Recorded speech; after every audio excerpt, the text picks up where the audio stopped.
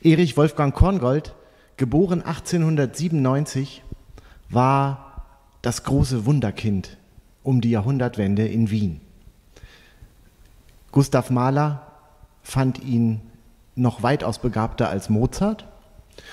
Und dieses Klaviertrio, ähm, sein Erstlingswerk, hat er noch vor seinem 13. Geburtstag vollendet. Wenn Sie es gleich hören werden, werden Sie es nicht glauben. Aber es ist tatsächlich so.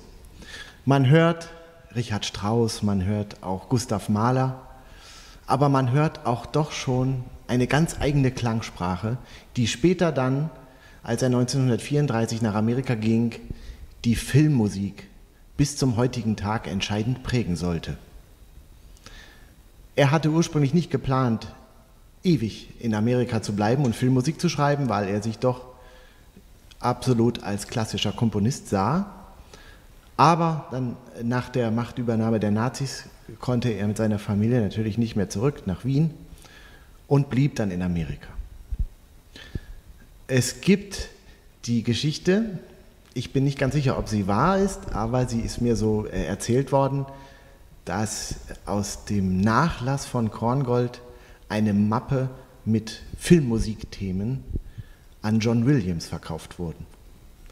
Und da waren viele ähm, der berühmten Themen aus Star Wars und Indiana Jones anscheinend mit dabei.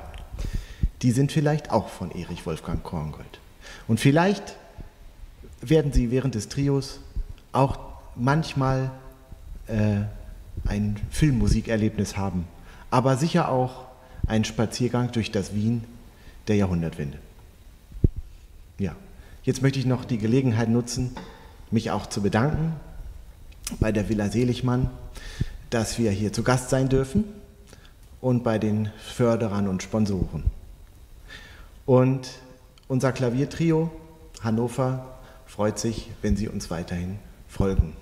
Wir haben spannende Projekte vor. Unter anderem werden wir uns in Zukunft sehr um die Werke von Komponistinnen kümmern. Also bleiben Sie an uns dran. Vielen Dank.